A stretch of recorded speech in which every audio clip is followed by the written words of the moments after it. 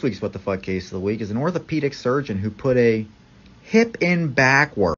This is absolutely crazy. I don't know how this could possibly happen. Whoever did this operation should never be touching a scalpel. From day one of orthopedic training, it is known how a hip replacement goes in. And not only that, before we ever leave an operating room, we test the hip to make sure it's stable. There's no way this hip was ever stable. As you can tell, it's in backwards. And not only that, most of the time we're using x ray guidance to make sure everything's perfect before leaving the operating room. This is egregious.